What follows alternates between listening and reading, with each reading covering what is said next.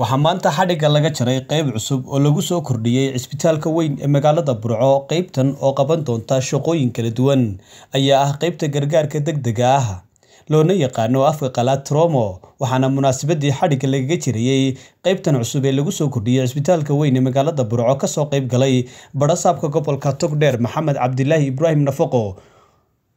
Taliyayaasha kala duwan ee asluubta iyo booliska ee gobolka togdheer agaasimaha guud ee cisbitaalka weyn ee magaalada burco kusimaha guddoomiyaha maxkamadda rafaanka ah ee gobollada togdheer iyo daadmadheedh iyo sidoo kale isuduwaha wasaaradda horumarinta caafimaadka ee gobolka togdheer doctor cabdicasiis cumar muuse ugu horreynba waxaa halkaasi ka hadlay qaar ka mid a dhakhaatiirta kala duwan ee ka howlgasha cisbitaalka weyn ee magaalada burco iyo sidoo kale agaasimaha guud ee cisbitaalka weyn ee magaalada burco doctor cabdiraxmaan axmed maxamed doctor warfaa isagoo faahfaahin ka bixiyey qaybtan cusub ee lagu soo kordhiyey cisbitaalka weyn ee magaalada burco. Maanta waxaynu xalay ka jaraynaa dhismaha qaybta dhaawaca degdega ama turaamada kaasi oo ah ahmiyad gaara u leh hosbitaalka iyo dhammaan bulshada taasi oo ay noo diyaarsan yihiin meelihii dadka la dhigi lahaa dhakhaatiirtiina ay noogu diyaarsan yihiin.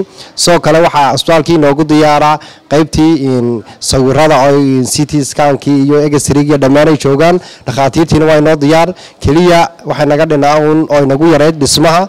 Bulshada waxaan leenahay insha allah inay ka faa'iidaysan doonaan wax badanna ka tali doonto baahiyaha inoo imanaya dhaawacyo hadday yihiin hadday yihiin dagaallo dhaca dhib kastoo qofka soo gaadha ama shilal ha ahaadaan dhammaantood waxaan rajaynayaa inay aada uga faa'iidaysan doonaan.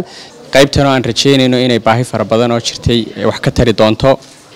Waxaan aada iyo aada ugu mahad celinayaa hay'adda ama organisationka khayriga ee iwaada oo hawshan hirgelinteeda lahaa.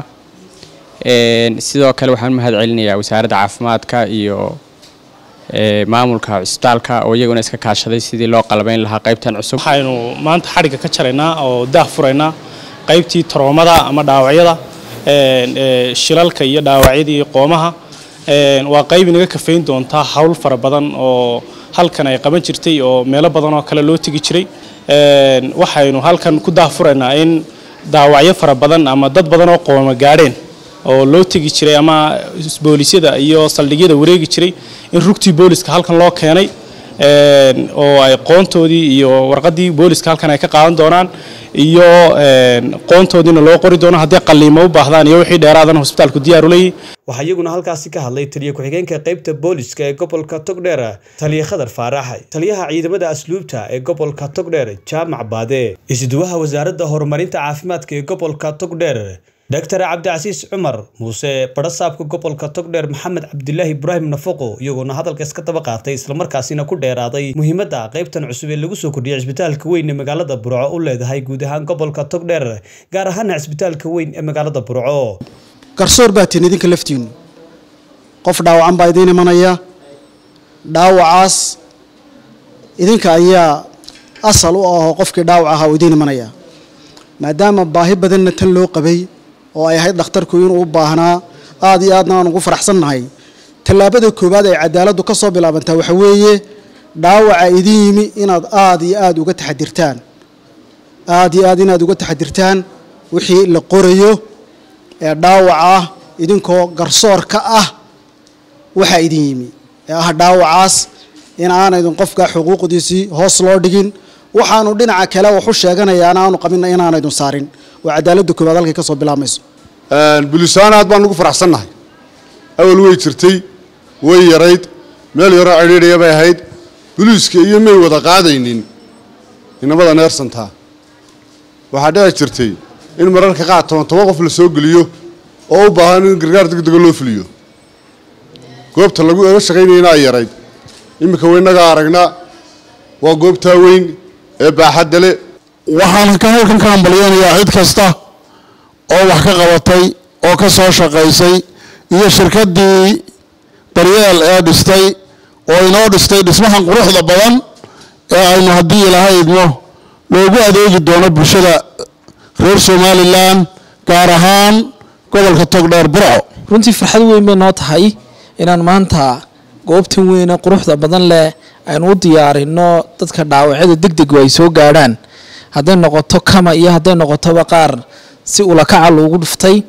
Oo markii hore goobo aada u cidhiidhiya ama aan sax ahayn lagu shaqayn jiray. Sideedaba caalamka oo dhan meelaha dhaawac muujinta laga sameeya waa cisbitaalada ay dowladdu leedahay.